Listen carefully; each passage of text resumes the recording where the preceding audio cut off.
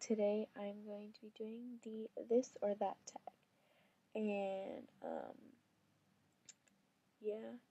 And my makeup is like totally not there anymore because I've had this on since I don't know. I think like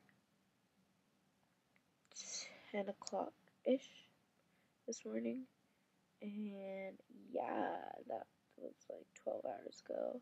And I had dance from 11:30 to and I didn't get home until like uh, and I didn't get home until like 8ish. So yeah. I had like 2 hours of class and then I had um rehearsal for Nutcracker. Woo.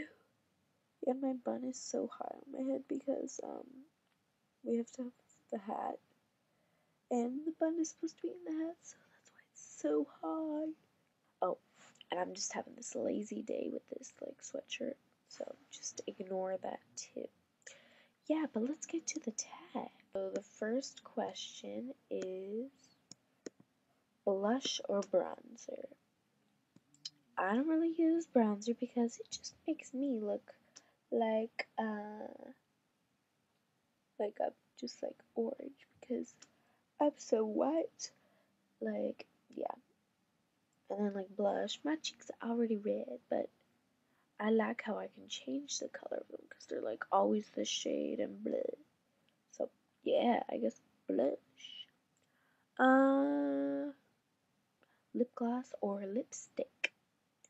I would say uh, if the Revlon lip butter, lip butters, whichever category that counts under. I think it's like both mixed together. Uh, eyeliner mascara? I would say mascara, foundation or concealer. Um, I would say foundation, but the liquid foundation, like CoverGirl NatureLuxe foundation, because you can like layer that and make it work.